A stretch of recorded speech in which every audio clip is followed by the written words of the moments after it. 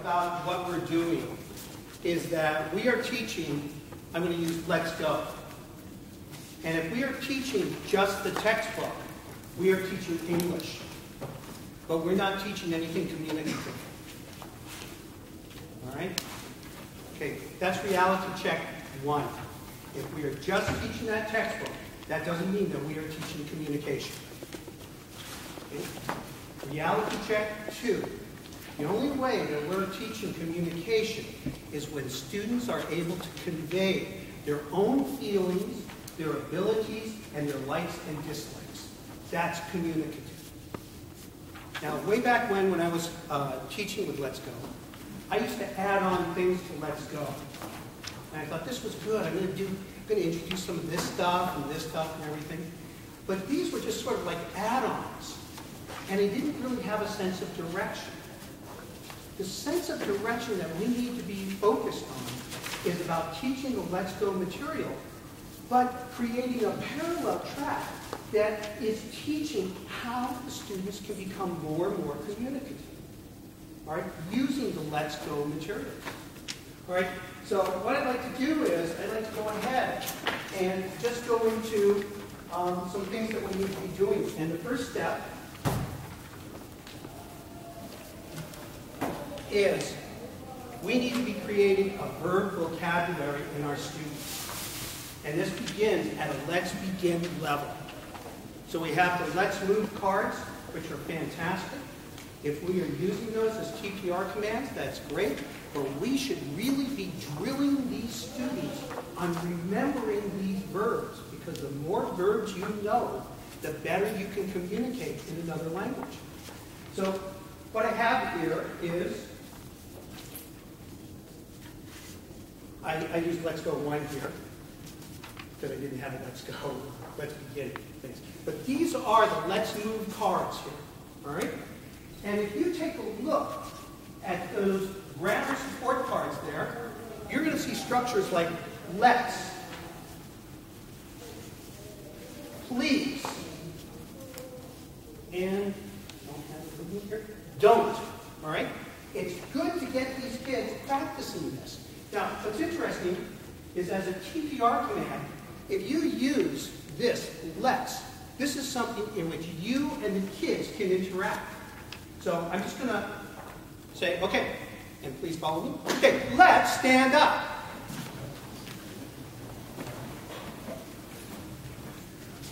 Let's make a circle.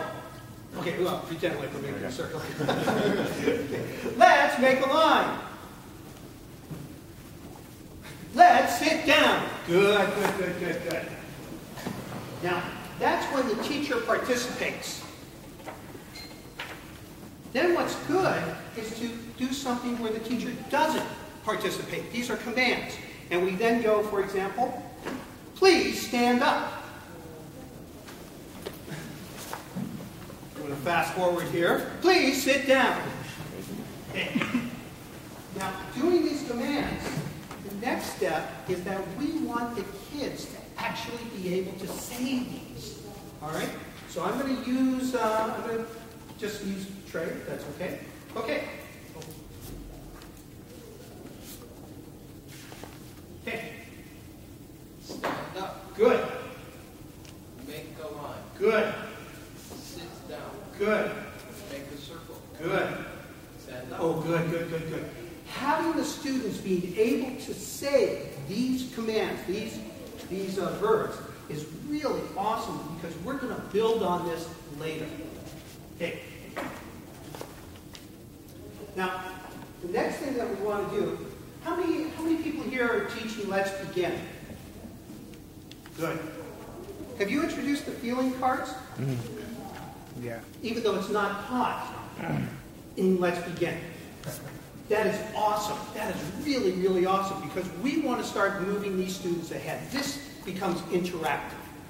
So for example, it's not only important for the students to say, I am happy,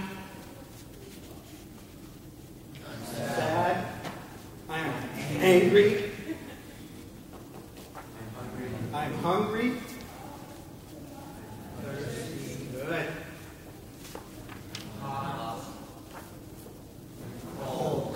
good. Good, good.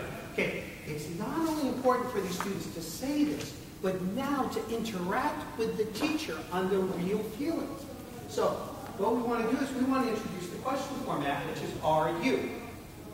And as you know in Japan, they have a circle, maru, and they have a X for batsu. So a very simple structure is, okay, everyone, hands. Okay, and we're going to do maru. Yes, I am. Yes, I am. Yes, I am. Yes, I am. No, I'm not. No, I'm not. No, I'm not. No, I'm not. Good, good, good. And now, when you ask students, okay, please participate, okay? Are you happy? Yes, I am. Good. Are you sad? No, I'm not. Good. Are you angry? I'm waiting for a kid to disagree, and I want to point that out. I want disagreement. I don't want unison here. I want them to start telling me their true feelings. Are you hungry? No. me too. Are you thirsty? No. Yes, I am. Yes, I am. Yes, I am. No, I'm not. No, I'm not. Good. Are you hot? No, I'm not. Oh, no, I'm not. No, I'm not. Good, good, good. Are you cold? Good. This may seem like a simple step, but it's the first step about getting your kids to be communicative. And later on, you can have your kids ask you this question. Right? So at a Let's Begin level, they already go into things like can you and do you.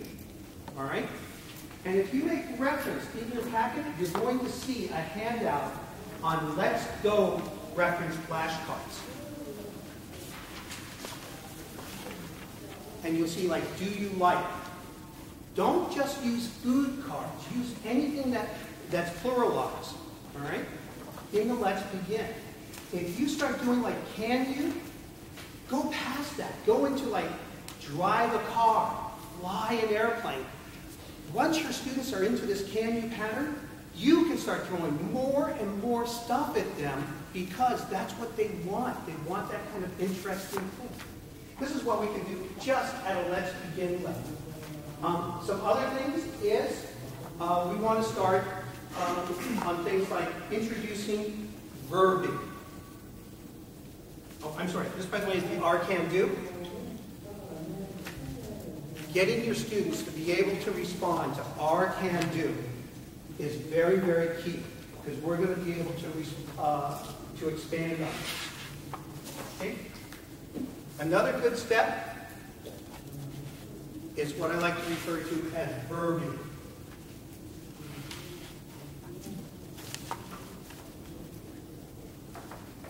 Do you remember the, set in the junior high training packet? Okay. What's amazing is that you can go ahead and start introducing present continuous tense to let's begin students, contrasting he and she. Right? You can do like, he is cleaning, she is cleaning, he is cooking, she is cooking, he is um, sleeping, she is sleeping.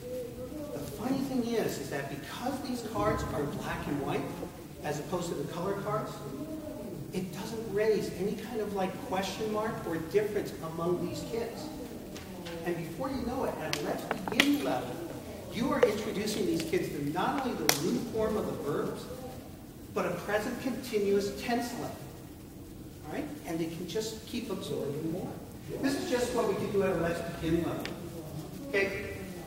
At a uh, let's go one, what we want to do is we want to continue with these um, uh, promoting, again, the let's move cards.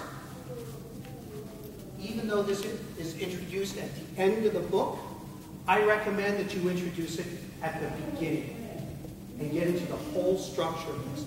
And just start, again, using the flashcards as support, asking, are you? Now what happens is, is that we want to expand the response pattern from a two-step response pattern to a three-step response pattern.